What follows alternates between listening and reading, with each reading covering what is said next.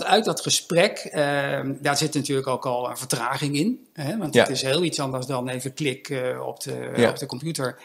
Eh, gesprek vraagt sowieso al meer tijd, maar daar rijst dan wel op een gegeven moment een betekenis en een interesse uit voort. En dat is precies het verschil, denk ik, tussen wat Verhoeven ook heel goed beschrijft tussen, laten we zeggen, schijn en diepte.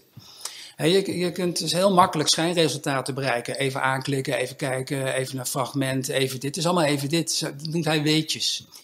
Eh, ja, die kun je al inderdaad allemaal opzoeken. Dat Mhm. schrijft hij al in de jaren zestig, eh toen natuurlijk de, de weetjesideologie eh, zeg maar het onderwijs ging beheersen.